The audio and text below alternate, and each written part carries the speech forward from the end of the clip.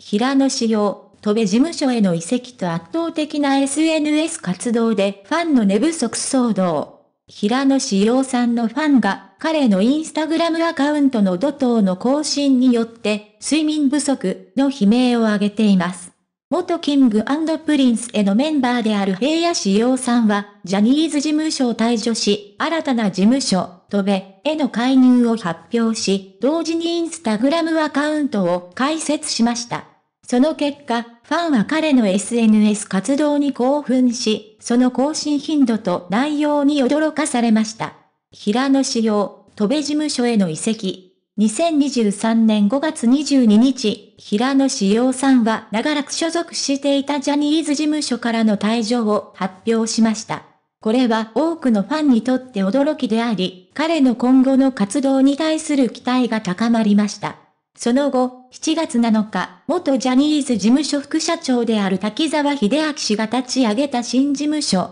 戸部への介入を発表し、ファンは新たなステージに胸を躍らせました。平野志陽さんは、渡米への加入と同時に自身のインスタグラムアカウントを開設し、ファンにその喜びを共有しました。本文、インスタグラムデビューと圧倒的な更新頻度。平野志陽さんのインスタグラムアカウントは、開設初日から注目を集めました。彼は平野仕様です。インスタ始めました。というファーストポストを投稿しその後の深夜からストーリーズの質問機能を活用しました。その質問機能を通じて、彼はファンから寄せられた質問に驚異的なスピードで回答しました。たった2時間ほどで平野志陽さんは115以上の質問に答え、その回答内容は彼の独自のスタイルである平野節を反映していました。ファンからの質問に対する彼の答えには愛情と自然さが溢れており、その内容はファンとの距離感を近づけるものとなりました。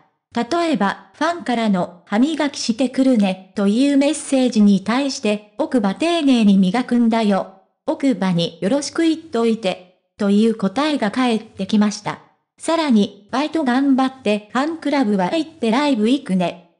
という質問には、俺も頑張ってみんなが喜ぶものみんなで作るね、待ってるからね、という返答があり、彼のファンへの熱い思いが伝わりました。本文、ファンからの反応。平野志陽さんのインスタグラム活動に対するファンの反応は熱狂的でした。ゆうちゃみとして知られるモデルも、彼が質問に答える姿を見て、質問箱をされてる時点で、こっち、ファン、からしても親近感が湧くというか、めちゃめちゃみんな嬉しいやろうなって、とコメントしました。また、質問に対する彼のエネルギッシュな姿勢にも驚きが広がり、SNS 上でも、一からのスタートを頑張る感がすごいね。こんな更新されたら目が離せないから、いつまで経っても眠れません。アイドルとしての役割を分かっている、との声が相次ぎました。ファンの中には自身の質問が平野志陽さんに選ばれたことを喜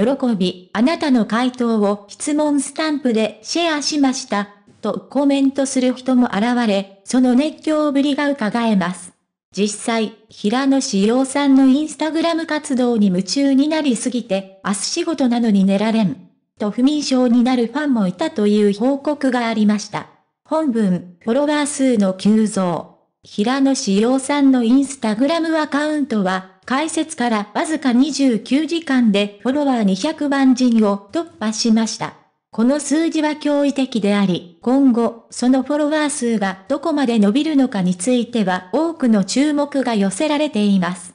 彼のファン層はますます拡大し、彼の SNS 活動が成功を収めていることを示しています。平野志陽さんの戸部事務所への移籍とインスタグラム活動はファンにとって驚きと喜びに満ちた出来事でした。彼は自身のアイドル活動に対する熱意とファンへの愛情を示し、その結果、ファンは彼の SNS 活動に夢中になりました。彼のフォロワー数の急増は、彼の人気が依然として高いことを示しており、今後の彼の活動にますます期待が高まっています。彼のインスタグラムアカウントは、ファンとのつながりを深め、新たなステージでの成功を予感させています。